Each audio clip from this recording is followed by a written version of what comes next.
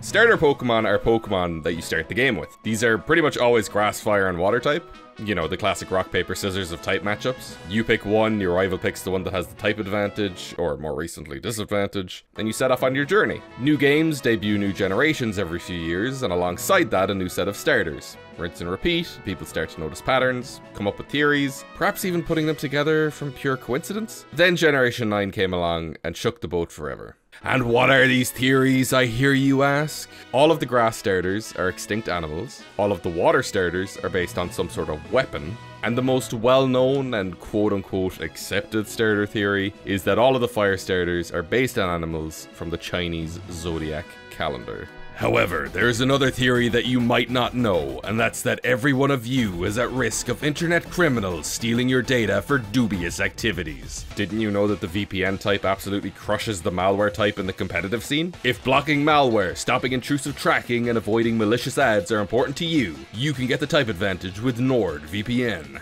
However, Nord does even more than just protect your data. You know when streaming services just pluck your favorite show out of existence? But then that exact same service still has that exact same show available elsewhere in the world? With Nord, you can connect to servers all over the world, and as a result, take a look at all the good stuff they have access to. More of a gamer than a watcher? Well, it can even be used to provide you with quicker broadband. Wow! You can install Nord in pretty much anything. Your computer, laptop, mobile devices. An egg. If you're out and about a lot, like me, using a lot of public Wi-Fi, you'll always be safe. And it's always on, so you don't have to worry about creepers creeping it up in your mainframe or what. I don't know how hacking works. Go to nordvpn.com forward slash deadbedspread to get a two-year plan with an exclusive deal plus four extra months. Two years plus four extra months? That's like 28 whole months! Plus, it's risk-free with NordVPN's 30-day money-back guarantee. So, you have a whole month to decide if it's for you, with absolutely no risk. Thank you to NordVPN, and make sure to visit nordvpn.com forward slash deadbedspread. My transition skills are unmatched. Now, these starter theories have all been subject to change over time. The original grass starter theory was that they all had to be some sort of reptile until Chespin came along, and funnily enough, none of them have been reptiles since. And the water starters bounce between the weapon theory or them being non-fully aquatic animals. So like no fish, octopus, seahorse. This one is probably due to terrestrial animals being easier to attribute human qualities to. The starters grow as we trainers do, it's why most of them can stand up and have more personality than other Pokemon. But they all have two feet and two arms, or four legs, plus their other bits. It's why, despite Decidueye and Quaquaval both having wings, they still both have hands. Now, I used to be one of those people who was insistent that the starter theories were true, all the way up to Generation 8. Rillaboom wasn't just a punk rock gorilla, but the extinct Gigantopithecus, and it's uh, also based on a caveman using Unga Bunga tools for the first time. In fact, if we look closer at the extinct theory for a second, when Sprigatito was announced, the overall consensus online with the theory believers was that it was going to evolve into a saber-toothed tiger, with absolutely no basis in its design outside of the extinction theory. Then, after the full evolutionary line was revealed, everyone and their mom has been claiming that Meowscarada is an Iberian lynx, which, let me just tell you, is an endangered animal. They are still alive, not extinct. You know what? I can see it now. Droves of Pokemon fanatics roaming the Iberian Peninsula, hunting down every single lynx in order for the extinct starter theory to reign true. If I had to guess why this theory is so prevalent, it seems like it was mostly backed up by the first four starters being dinosaurish. Dinosaurs are obviously extinct. And then again being backed up by Decidueye being a ghost-type owl in a Hawaii-based region, which the general consensus seems to be that it's based on the extinct stilt owl that inhabited the islands, but like, it's also a stealth archer and an owl. Two silent, ghostly things. Ghost type just makes sense outside of the tie to an extinct creature. And if we're justifying it being extinct by it being ghost type, shouldn't all the grass starters be partially ghost type? This theory was definitely up there with the zodiac theory with being easy to believe, but that's simply because if you just take a step back, every animal that still exists today had ancient evolutionary relatives that looked very, very similar, yet died off, going extinct. So you could literally say that every animalistic Pokemon is based off of a prehistoric ancestor without there actually being any evidence of it. For example, Charizard is the Chinese flying dragon lizard. Typhlosion is the Repenomamus giganticus, a prehistoric badger. Blaziken, giant moa. Infernape Eosimias. Emboar is Entelodont, the Hell Pig. That one fits very well. Delphox is a direwolf, because I think foxes didn't they used to all be the same thing. Incineroar is a saber-toothed tiger. It's a big tiger. It has teeth. Cinderace, Nuralagus, Skeledirge, Titanochampsa, an extinct Brazilian crocodile. There are already ties to Brazil with that starter trio in general. Makes sense. How about the water starters? How do they fare? Blastoise could be Carbonemys. alligator, Kaprosuchus. Swampert doesn't really look like an animal, but if we take it as like a land-based fish, it could be Tiktaalik, the first fish to ever walk onto land. Empoleon could be Kumimanu. Samurott could be Siamogale melilutra. Why do all these things have big long names? What is Latin? Why don't we just call them Old Otter Boy? Greninja could be Beelzebufo, the prehistoric frog. Just look at the prongs over its eyes. Primarina could be Acrophoca. Inteleon is just some sort of dinosaur. It's already based on movie tropes, and the Dilophosaurus from Jurassic Park already took a lot of liberties. It has frills, it can shoot substances. Inteleon has frills, it can shoot from its fingers. I don't know. And then Quaquaval could just be um, a Mihirung. There's, the, the point is, there are so many animals. There are so many extinct animals that any of these starters could be based on. It's not even hard, you just Google like prehistoric duck and you get like 12,000 results. So, See, that wasn't that hard. Now, if we look at the more accepted water theory of non-fully aquatic animals, pretty much every starter Pokemon could be lumped into this, as none of them are fully aquatic animals that live exclusively underwater. Frogs, dinosaurs, lizards, turtles. Now, I'll admit that tortoises can't swim, but if you submerge Torterra in water, it's an island, so. But also you could argue that it's a tree, and you have mangroves, snakes, rodents, birds, monkeys, tigers, salamanders, badgers, birds, monkeys, pigs, foxes, tigers, rabbits, crocodiles. so yeah, that one isn't as much a solid theory as it just is that putting emotions on a fish is much harder than putting emotions on a humanoid duck. So how about the water type weapon theory? This has always been the weakest of the theories for me personally, and honestly, it only really fits 5 out of the 9 water starters, and those aren't even 5 starters in a row. Blastoise is cannons, sure. Empoleon is a trident with its crown. Samurott has physical swords, we'll give it to him. Greninja's base form has nothing visually, but between its signature move and its Ash Greninja form, you could say it's based on Shuriken, and Inteleon is obviously a sniper, they just couldn't give it an actual gun. So those are the ones that kinda work. What about the other four? Feraligatr is Knuckle Dusters, because it has arm bumps? literally a technique used to break up negative space without adding too many unnecessary colors by just incorporating interesting shapes, and you said that the crocodile is knuckle dusters. I would maybe believe it if it had dusties on its knuckies. Swampert is war fans, despite literally, you know, being based off of a creature with fins. Natural progression of evolution Pokemon is basically do thing, but more and bigger. Mudkip has fin, Marshtomp has fin. Swampert has fins. They're fins. Quaquaval is like a chakram, I guess, with its tail. Sharp water. The weaponized gay agenda. And Primarina is a mace because it either hits people with its tail or because its hips have spikes protruding from it. And if you cut off its upper body and held it by the tail, you could hit people with it or something. Nobody can give me a straight answer on that one. Or, get this, it's a bomb because its signature move makes an explosion. It's a Z move. Like every Z move explodes. Pokemon, as much as we don't want to admit it, are pretty violent creatures. Like, the core basis of the game is fighting each other. You could say that any Pokemon is based on a weapon. The fire starters are easily lumped into this category. They're all flamethrowers. Okay, but if we want to be like specific, loads of Eastern cannons have like dragon imagery. Fireworks were weaponized at some point in history. Blaziken has got those metal arms, look like gauntlets. Monferno and Infernape both have a tail that could be a whip. Emboar has big old tusks. Fennekin's stick, you could say, is a bow staff. Incineroar has these massive guns! Cinderace could just kick a ball at you. Have you ever gotten hit with a bowling ball? I would class that as assault with a weapon. And what's Skeledirge? The weapon of song!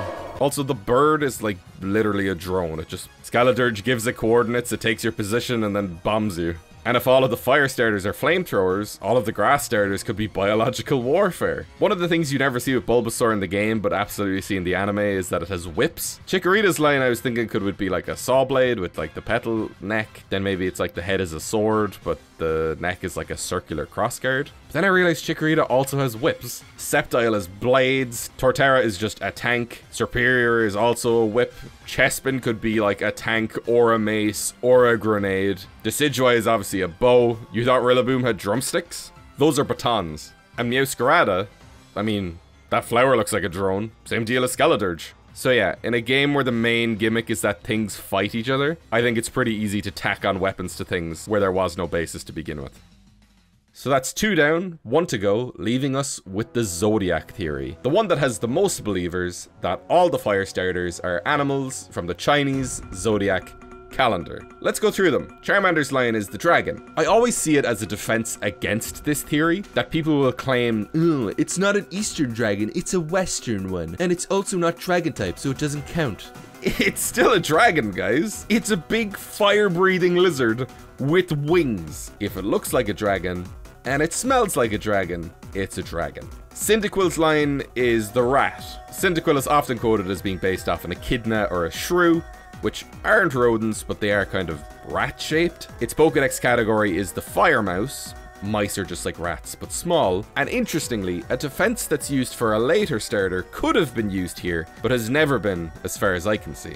The biggest consensus is that Typhlosion is some sort of badger. Male badgers are called boars, and boars are a type of pig. A pig is one of the animals on the Chinese zodiac, but everyone and their mom ignored that because seemingly they weren't desperate enough. And oh boy, will we get there. Torchic is obviously the rooster, Chimchar is clearly a monkey, and Tepig is undisputably a pig.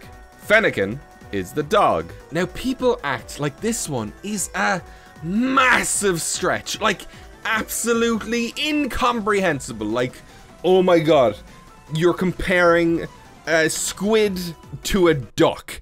Like, they just they're like, um, foxes and dogs. They're completely, you can't compare the two. But foxes are literally part of the dog family. It's not even slightly as much of a stretch as people claim it is. Litten to Incineroar are the tiger. It's a big cat with stripes on it. Scorbunny is obviously a rabbit. So, with those eight, some are obviously stretches and you have to kind of squint, but you know, you could believe it. Until Fuecoco. This guy has caused so much contention that the people who are insistent that it fits the Chinese zodiac theory can't even agree on which animal it's meant to be. He's a horse. So, the Fire Croc Pokemon. There are no crocodiles on the zodiac calendar, so we gotta make do with what we have. I mean, it must be the ox, right? Because male crocodiles are called bulls? We never use this excuse for Cyndaquil, but I guess you gotta make do when you're out of options. Hmm. How about a snake? Well, mm, Fuecoco is a crocodile. Crocodiles are reptiles, just like snakes. I mean, the majority of fire starters are mammals, yet those never got mixed up. You never see anybody calling Delphox a monkey. Wait, no, actually, it's actually um, the dragon and Charizard was the snake all along, despite them both having legs. No, no, no. Um, Skeledirge is the rooster because it has a bird, and now, all of a sudden, after nine generations, we're allowing more than one starter to use the same zodiac sign. I've heard people say that, mm, no guys, it's actually the Aztec zodiac, so crocodiles are allowed, despite the fact that the Aztec zodiac doesn't accommodate for earlier fire starters. You also have people claiming that the zodiac theory is still true, they're just taking a break for a generation, and we really have to wait until Gen 10 to see if the theory is true or not. You know what? If y'all want the zodiac theory, I'll give you the Zodiac Theory. If you want to stretch all the fire starters into this calendar, I'll stretch all the starters into it. So, Bulbasaur's line. People say it's based on a frog. Bullfrog. Bull ox. It's the ox. Chikorita? It's a snake. No, because it's long. Well, it's also a dinosaur. Certain male dinosaurs called bulls, so either or. Sceptile has a dragon type mega evolution. It's in the dragon egg group. It's the dragon. Torterra has a big old nose. I guess it's a pig. It's also based on a dinosaur. Male dinosaurs, bulls, also an ox. Snivy, clearly a snake. Chespin is a rodent, so it must be the rat, right? Rowlet's a bird. Rooster's a bird. There we go. Grookey's the monkey. And Sprigatito is the tiger, because they're both cats. What, I can't lump more than one of them into the same zodiac? That's literally the excuse that you guys have been using. Uh, Wartortle is based on the Minogame, so that must be dragon, right? Totodile could be dragon, it could be snake, because they're both reptiles, it could be bull, because it's a crocodile. There's so many options. Uh, Mudkip is obviously the goat, but Axolotl are closely related to tiger salamanders, so maybe that. Piplup is the rooster, because they're birds. Oshawott is an otter, they're kind of dog-like. Male otters are called boars. Froakie is a frog, bullfrog, ox, but also ninjas have connotations with dragons, so mm. Poplio is either a seal or a sea lion, the dog of the sea, the males of which are called bulls. Inteleon is very long and lizardy, so it must be a snake. And Quaxly is a bird, so it must be a rooster. So why is any of this important? If somehow you didn't know, I am a fake Fakemon artist. I have been bouncing back and forth between two sets of starters for years now. And honestly, the pressure and gatekeeping, even for myself, with what I was allowed and not allowed to do, was just the worst. The fact that when designing fictional animal friends, you have to adhere to this criteria, and then people are speculating things about your starters that you never had in mind for them. It's like, no, my grass starter based on a guinea pig isn't some sort of prehistoric rodent. My fire starter based on a turtle isn't a dragon or a snake in disguise. My water starter that is able to shoot water just like like the rest of them, isn't some sort of projectile cannon. Gen 9 has been really great for me in ditching a lot of that stuff, because if the Pokemon community and Game Freak are allowed to express their creativity however they want, then the rest of us should be too. Now, of course, if you believe the theories, I'm not saying you're wrong. I used to be in that exact same boat. What I will say going forward though is don't gatekeep people's creations with these arbitrary rules that have never been confirmed because that isn't fun for anyone. Anyway, yeah, they're just a bunch of cartoon animals. Why are we arguing about it? Thank you for watching. This video has been in the works ever since I saw Skeledirge for the first time, and I had to cope with the fact that he was not indeed a horse. A lot of mind-blowing stuff seeing a crocodile just be a crocodile. But anyway, if you enjoyed this video, please feel free to subscribe. I have a Discord in the description. There's links to my Twitter and Instagram. I have a Patreon if you feel so inclined. There's no pressure there. And yeah, let me know. Was I wrong about the starter theories? Were there things I didn't know about? Are they not starter theories but starter facts? Who knows? Anyway, with all that said, I've been Dead Bedspread, and all the best.